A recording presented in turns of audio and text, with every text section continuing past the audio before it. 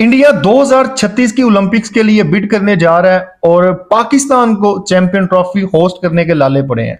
इस वीलॉग में इसको डिटेल से डिस्कस करेंगे, लेकिन before going into detail discussion अगर आपने मेरा चैनल सब्सक्राइब नहीं किया तो चैनल को सब्सक्राइब कर दें ताकि क्रिकेट से जितनी भी रिलेटेड न्यूज़ है वो आप तक पहुँच सके।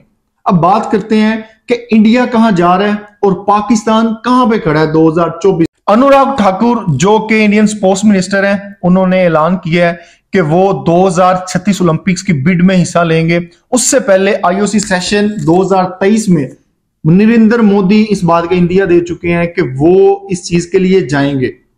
अब देखिए, इंडिया कहाँ पे खड़ा है और पाकिस्तान कहाँ पे खड़ा है? अब जिन लोगों को पता नहीं ओलंपिक्स क्या होती है, सबसे पहले मैं ब्रीफली आपको ओलंपिक्स के बारे में बताने की कोशिश करता हूँ कि ओलंपिक्स कितनी बड़ी चीज़ है। ओलंपिक्स दुनिया में जितनी भी स्पोर्ट्स हैं उनका सबसे बड़ा इवेंट जो है वो ओलंपिक्स होता है और इसमें ऑलमोस्ट सारी खेलें होती हैं और आने वाले कुछ सालों में देखेंगे क्रिकेट भी इसका हिस्सा बनने जा रही है। अब इसकी हिस्ट्री क्या है? 1896 में सबसे पहले ये ग्रीस का जो कैपिटल है एथेंस वहाँ पे खेला जाता है और इसका आइडिया 1894 में देता है बेरोन पीरे डिकोबर्टन वो इसका आइडिया देता है तब से लेके ये कॉन्टिन्यूली खेला जा रहा है और दुनिया की हर कंट्री जो है वो इसको होस्ट करना चाहती है। अब इस पे एक्सपेंस कोई थोड़ा बहुत तो नहीं आता, इस पे बिलियंस ऑफ़ बिलियंस डॉलर जो है वो एक्सपेंस आता है, लेकिन फिर भी जो कंट्रीज़ हैं, इसको अपने अपने मुल्क में होस्ट करवाना चाहती हैं, इसकी क्या रीजन है? लास्ट टाइम जो ओलंपिक्स खेली जाती है टोक्यो 2020 में, उसका जो टोटल एक्सपेंस है, वो 13 बिलियन यूएस डॉलर होता है।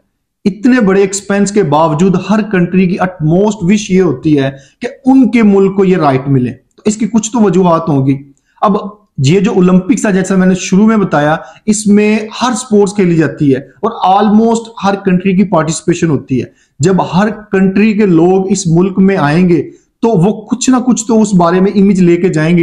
तो ये जो होस्ट कंट्री होती है, इसकी अटमोस्ट यही विश है कि हमारी कंट्री का जो इमेज है, जितने लोग यहाँ पे आए हैं, वहाँ वो अच्छा इमेज लेके जाएँ।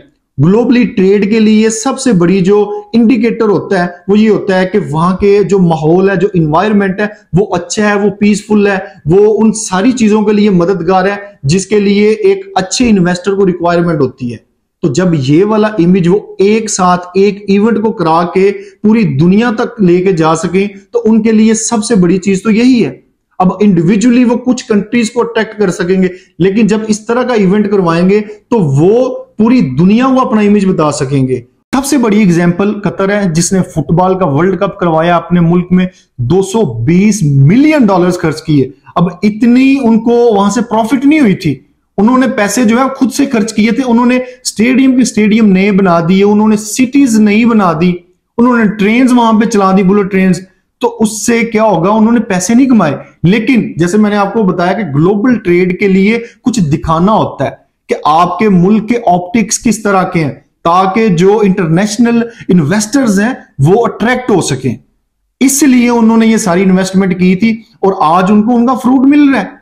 तो पाकिस्तान बहुत पीछे है इंडिया आगे जा रहा है। अब ये पाकिस्तानियों को सोचना है कि क्या इन्होंने जो ऑलरेडी स्टेब्लिश स्टेडियम है, उनको रेनोवेट करके वहाँ पे मैचेस करवाने हैं और साथ नए ग्राउंड्स बनाने हैं। या जो ऑलरेडी स्टेडियम हैं, जैसे हमने उनको स्क्वीज कर दिया है तो ये जो चार रह गए हैं, इनको भी हमने दो में कन्वर्ट कर देना है। इसी तरफ़ पाकिस्तान है, जिसको चैंपियन ट्रॉफी होस्ट करने के लाले पड़े हैं। यहाँ पे सिर्फ़ चार ग्राउंड हैं जहाँ पे मैचेस होने हैं। जबकि इंडिया में आपको बताऊँ 49 इंटरनेशनल ग्राउंड्स बन चुके हैं। तो आप किन से मुकाबला कर रहे हैं? आप अपना इंफ्रास्ट्रक्चर ठीक करें, अपनी क्रिकेट को जो है, वो रेवोल्यूशनाइज करें। ये नहीं है कि आपकी टीम को जो है, वो अच्छा खेले, ऐसा करे सर, क्रिकेट को आगे लेके जाने के लिए फैसिलिटीज़ को भी अपग्रेड करना पड़ता है। इंडिया ने ऐसे तरक्की नहीं कर ली, उनकी टीम बेहतर ऐसे नहीं बन गई। उन्होंने एक जो रेवोल्यूशनरी चेंज चाहिए होता है, जो जनरेशन के बाद रिक्वायर्ड होता है, उन्होंने वो किया अभी तक हम उस कदम के पास पास भी नहीं है।